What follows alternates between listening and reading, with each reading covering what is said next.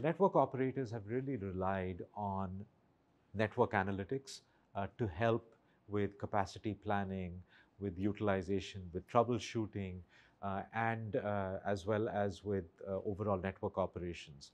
AI ML technologies can really help take this all to the next level and deliver the holy grail of a self-healing network. Uh, some examples that come to mind are uh, in areas like anomaly detection, uh, to, to be able to detect what uh, unusual patterns in the network and be able to uh, provide recommendations as to how those need to get addressed.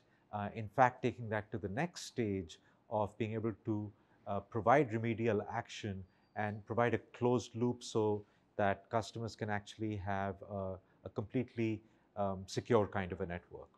Another area would be root cause analysis. Where are there issues that come up and how can they be remediated?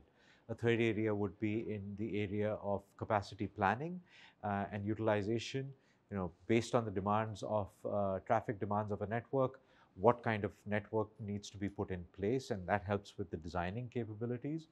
Another area would be with security. Again, detecting uh, unusual patterns and being able to address them in real time, making sure that the network has the right security posture. And then last but not least, in the area of network uh, automation and orchestration. So a number of tasks can actually be um, completely automated, thereby simplifying network operations, reducing the overall cost of running those operations and making it a much more uh, smooth network operation.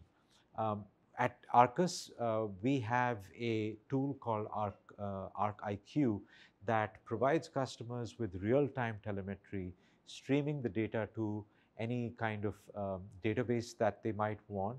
And we're looking forward to incorporating a number of these AIML technologies to provide better insights, uh, more predictability, and be able to provide the remediation capabilities that customers are really looking for. So we're really excited by what uh, AIML technologies can do uh, for customers.